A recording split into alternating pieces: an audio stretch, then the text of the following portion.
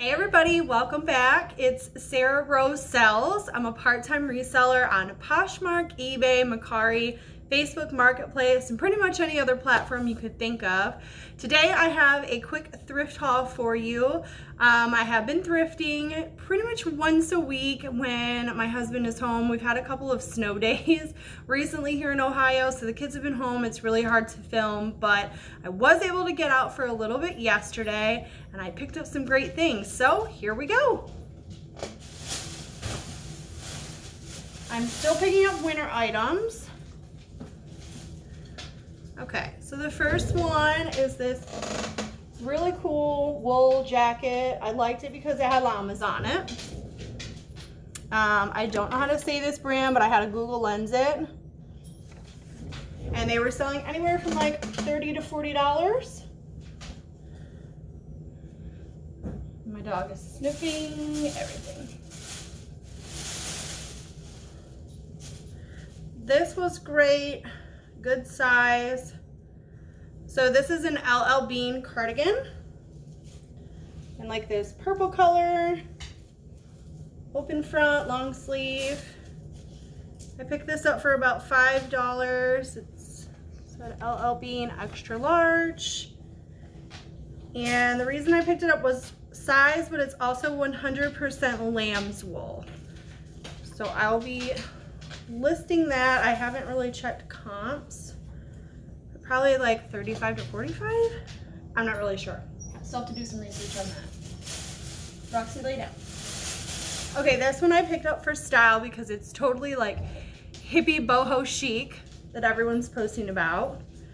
So the brand is Cat 2. I don't know.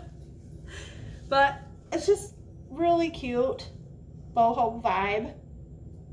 So I'm um, definitely gonna list that on Depop too. I've been trying to cross post everything because you just never know. Um, this brand does well on eBay. I picked this up. It's just one of these Life is Good t-shirts, but I did like it because it was long sleeve. It's a women's size small. Oh boy. The dog's getting a drink and normally she like hacks on Here it comes, I'm warning you. Um, I picked up this great button down, like chambray. It's a size small by Cloth and Stone. Probably 25 to 35 on that.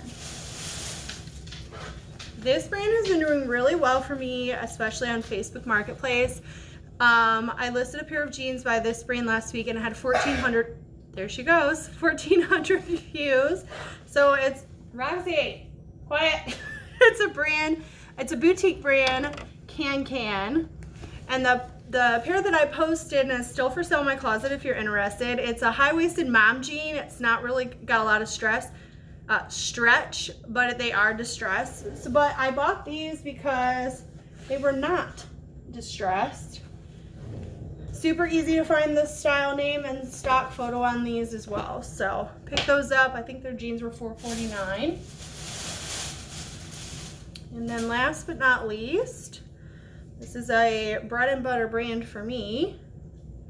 Okay, what's going on here? Where is, which way is the front? Okay. um, so it's this heathered gray top, with this cute detail in the back. And is this?